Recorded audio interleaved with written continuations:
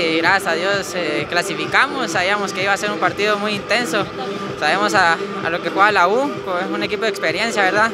Pero gracias a Dios los tres puntos se quedaron en casa y, y cerramos de, de, buena manera acá para la clasificación. Vaya partido, ¿verdad? Se resuelve con una anotación tuya. Sí, sabíamos que iba a ser complicado, como te repito, la U, una gran, unos grandes jugadores, eh, mucha experiencia ahí, ¿verdad?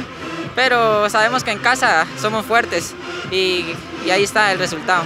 Claro, ahora a pensar en lo que se vendrá, porque aquí ya prácticamente, si bien es cierto, se quedó en una posición cómoda porque se cierra en casa, pero son partidos totalmente diferentes, Cedric. Sí, es, es, son otro, otros, otras clases de partidos, ¿verdad? Eh, sabíamos que el miércoles vamos de, de visita y hacerlo de la mejor manera para, como decías, es importante, es importante cerrar a, acá en casa. ¿Cómo tratar de encarar estas llaves, Cedric? No, nosotros sabemos que son llaves distintas a, a la fase de grupos, ¿verdad?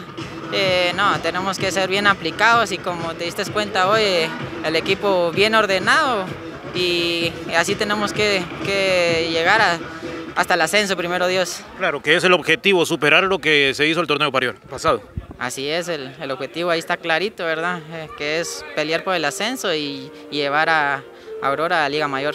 Perfecto. Edric, muchas gracias siempre. Gracias a vos, Sarama.